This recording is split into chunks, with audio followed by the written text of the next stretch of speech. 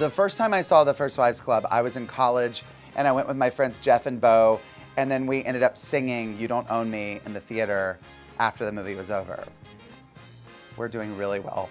I was so just like mesmerized by all of the fabulosity in the film. Okay, first of all, you got the lovely three divas, okay?